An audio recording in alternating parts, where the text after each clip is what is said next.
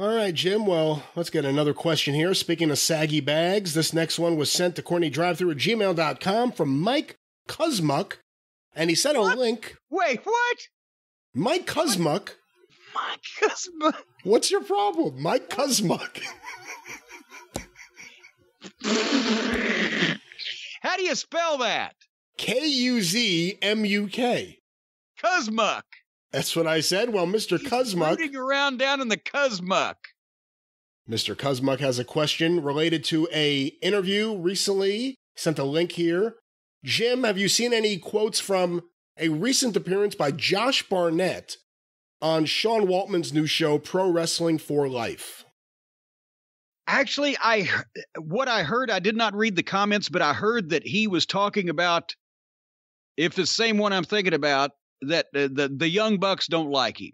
That is correct. So you didn't okay, read the well then I would love to hear the comments because I I lost it before I had a chance to go and, and read it. Okay, here are the quotes. And once again, this is from Sean Waltman's show, Pro Wrestling for Life. Asked about his friction with the Young Bucks, quote, I don't know what their deal is. I don't know who riled them up into thinking that me and JR were burying them all the time because we weren't. One of the things that I think was a problem is they wanted to be cool, but I'm like, you're heels. You're constantly cheating and breaking the rules and doing heel stuff. So we're going to say you're despicable. We're going to say you're terrible and horrible and you're bad people. We didn't say that you sucked. We just said that you're bad guys because that was your job.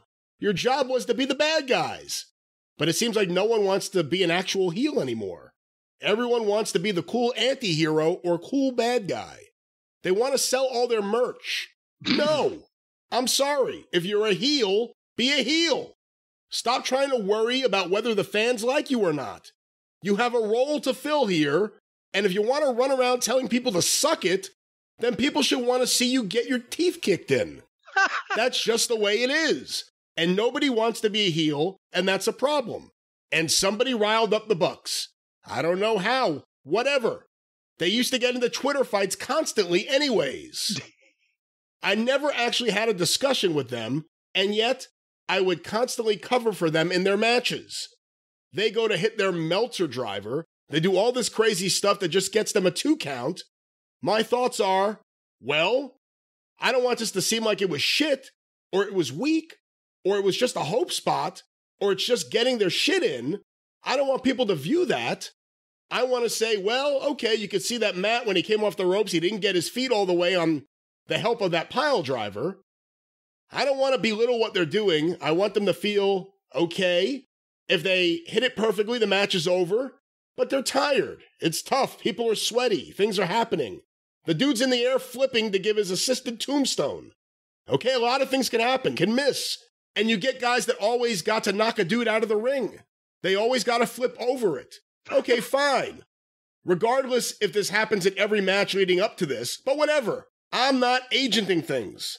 I'm only dealing with what's on television. So even then, I want to be like, oh, you could see in the slow mo he only caught a piece of him, and that maybe that even caused him some injury too. I was always trying to find a way to say that nobody here is weak, nobody sucks. This is just what happens when you go to war. When you're in combat, things don't always work out how you want them to. You hit a 450 and boom, but you don't get the three count. Maybe he just didn't have the leg hooked enough. It's not that you aren't capable, it's just one little thing, and that's how close the margin should be between these competitors. So there's some of Josh Barnett's thoughts on the Young Bucks, and overall, just a great look at how you should do commentary in wrestling. I give it again.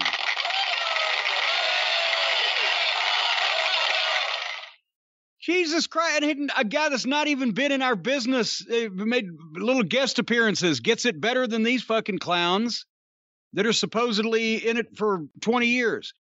Yes, you're not criticizing a guy saying he sucks when when you have to an announcer having to explain the inexplicable is the worst feeling to an announcer in the world, right? When when there's shit going on, you're just like, oh fuck, there's no way I can possibly make this believable.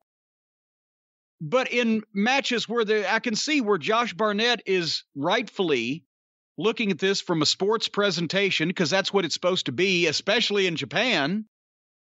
And he's trying to come up with a reason why these guys are hitting all these moves, but they're not winning anything. Well, I mean, he didn't get all of it. You know, it can be just that close. Boom. It's he's viewing this like a sport because he comes from a sports background and a fighting background. And that's exactly the way that you should view wrestling in your public performances or pronouncements, just like it's legitimate, like it's a sport. You understand that it's not. You're smart enough to understand the psychology of the thing, but you treat it to for the public like it is. And you explain, well, he you know, he might not have been able to kick out of that if he'd have got all of it, just like Barnett was saying, but he you know, was just off balance. It can be just that close. Anything can happen. If he hits that right, the guy's toast, whatever.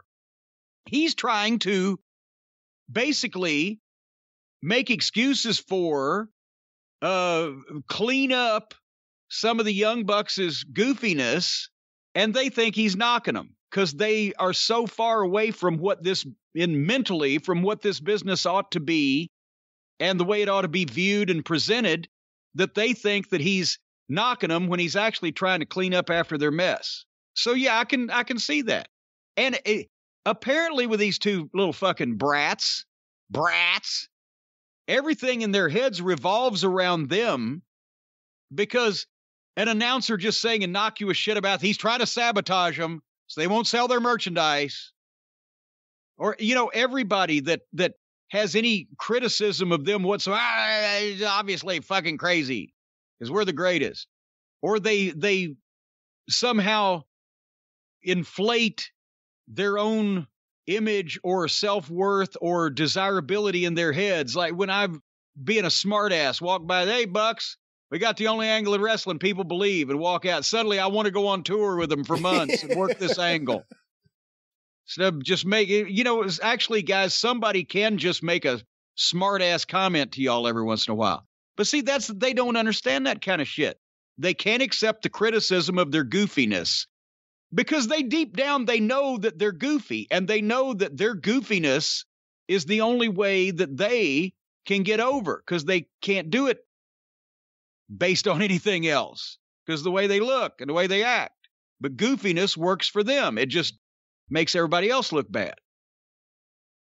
They can't accept that other people just can't get on board with the, the this whole they're the greatest tag team in the world thing.